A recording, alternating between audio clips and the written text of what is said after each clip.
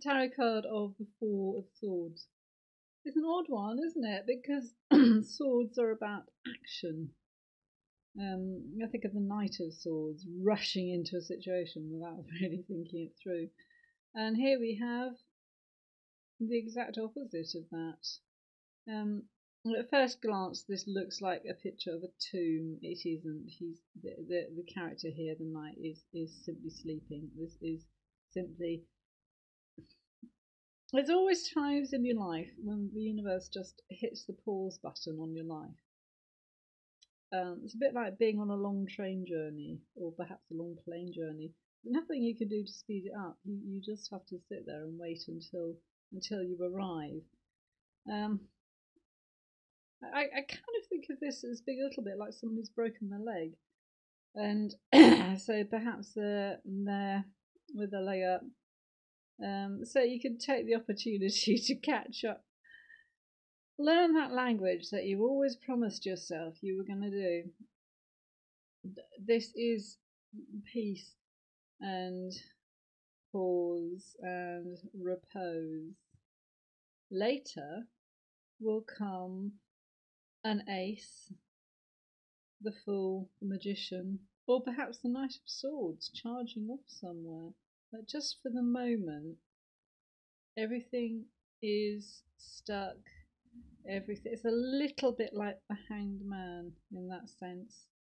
Just for the moment, everything is stuck. So accept this time, work with this time, go through this time. Just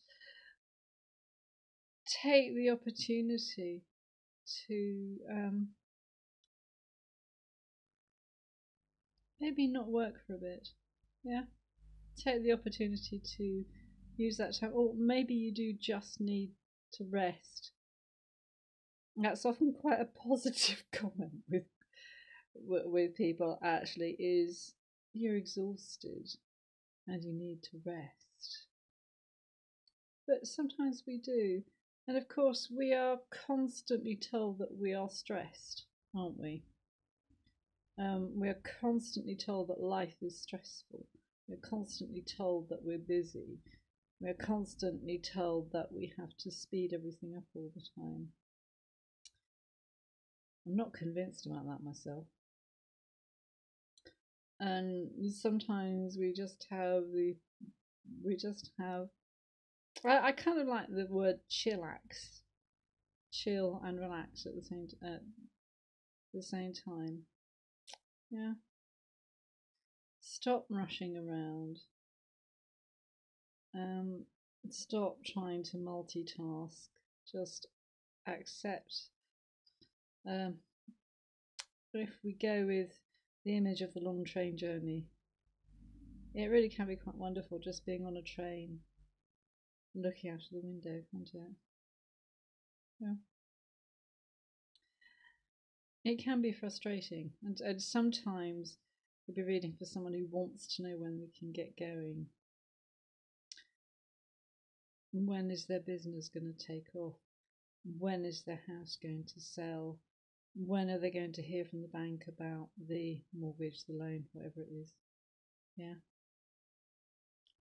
Um, the answer to that is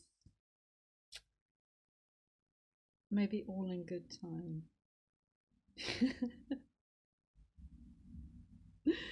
Come on, there are 24 hours in every day. There are 365 days in every year. We can allocate a little bit of that time to hmm, maybe meditate for a bit. Yeah.